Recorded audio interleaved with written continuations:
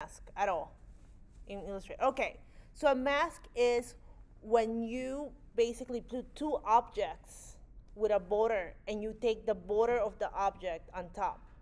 Meaning, and you'll see what I mean, how when you do brushes sometimes, and I think some of you have done, maybe you noticed that the corner was speaking out and you could not take it out because it's a repeat, correct? How do you isolate it in the object that you wanted? One way is to do a masking. So the mask is very straightforward. By the way, it's a lot less complicated than when it was in CS4, which 2008. Okay, so hold on a second. I'm gonna use one of my artworks that I did for a client that we don't talk about. okay, so this is actually a repeat if you wanna see it. I created all of this from scratch. So this is for men. So one way to repeat, you see that? Repeat, the scale, and then that's what you use the Pantones for. Tell them exactly what colors you need. That's how, I'm not gonna ask you to do Pantones in this one. I might ask you to do color chips, just colors from the print. That's okay. No one's gonna tell. It's not Pantones. But let's just say going back to it, what happens if I wanna go back to my original file and I wanna look at the object? There's ways to do it.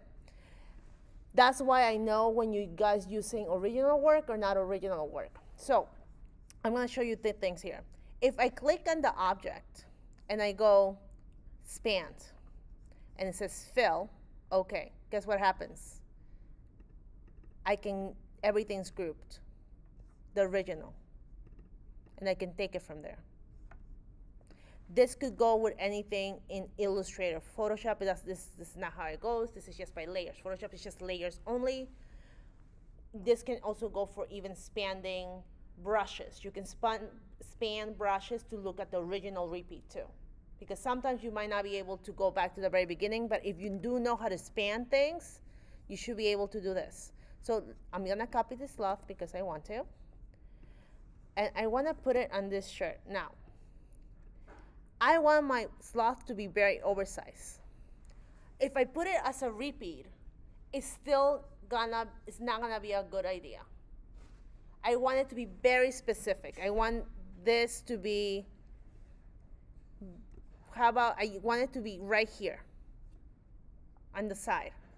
But if I put in a repeat, it might be really hard for me to know the scale and all these things. What do I do? I'm gonna, I am going to mask it. It's gonna take the shape. How do I mask it? I'm gonna create the line on around where I want it to be. This is, and it has, and it can be with no fill and no stroke. Okay, just create it on top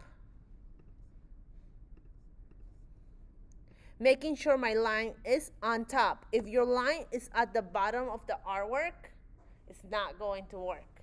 So you now after that, I am gonna select my sloth.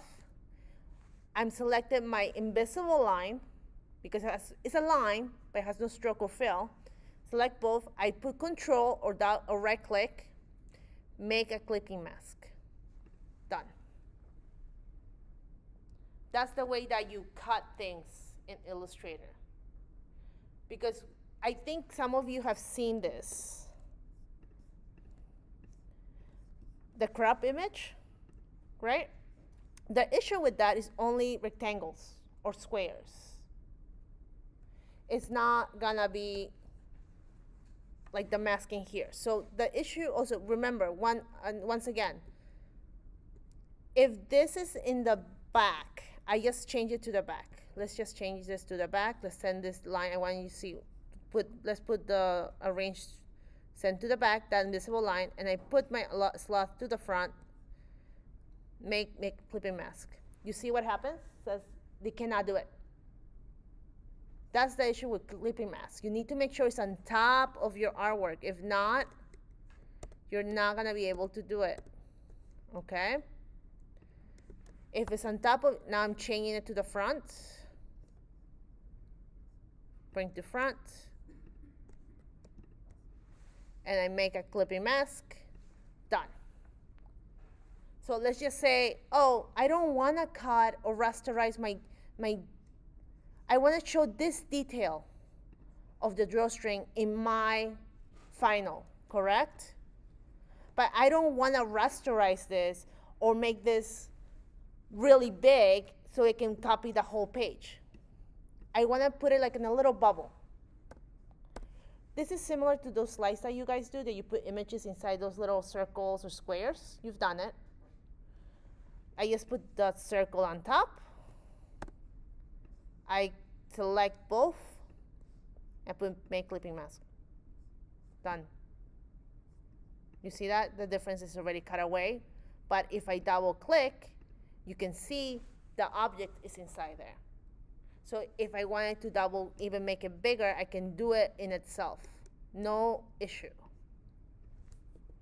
Same thing here. If I once I do the clipping mask, I can double click, find the original, and just change it to the sloth. I can even change the parameter. If I have the parameters that I did for the mask, I can change it again. So it's not only to cut away, it's also highlighting things. And it makes it easier to scale inside. Oh. It's easier to scale inside instead of outside than trying to do a repeat. That's why sometimes it might be easier to do a clipping mask than a repeat. Does that make sense? Because at least we can play it faster.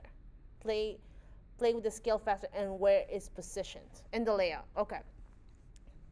We're done. And